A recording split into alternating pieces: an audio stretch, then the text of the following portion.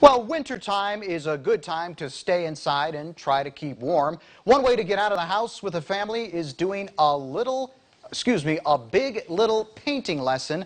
That's at Cocktails and Color. Now, parents, grandparents, aunts, uncles, the whole family and their little ones ages 6 to 14, they are allowed to bond while creating art together during these classes. Usually we hear people coming in saying, I can't even paint a straight line. I'm overwhelmed. I don't have an artistic bone in my body. But by the end of the class with the instruction, they leave with something that they're super proud of. They're taking pictures, they're putting on Facebook socials. Classes they're held once a month and they're $50 for an adult and child pair. Visit cocktailsandcolor.com for more information.